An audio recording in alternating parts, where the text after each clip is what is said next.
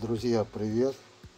Нахожусь э, в одной мастерской встретил вот такое чудо китайское здесь в мастерской. Вот смотрите, видите, какой китайский шуруповерт, какой он кривой весь. Смотрите, какой у него люфт. Видите?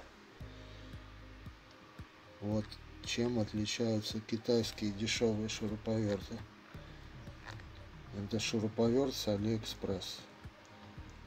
Но так или иначе находится в, в производстве, в мастерской.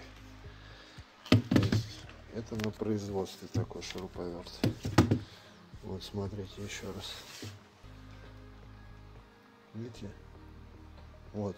Это здесь вал вместе с двигателем в нем ходит. Вот такой вот шуруповерт. Вот чем отличаются китайские инструменты от не китайских, а от брендовых. На этом все видео. Спасибо за внимание. Подписывайтесь.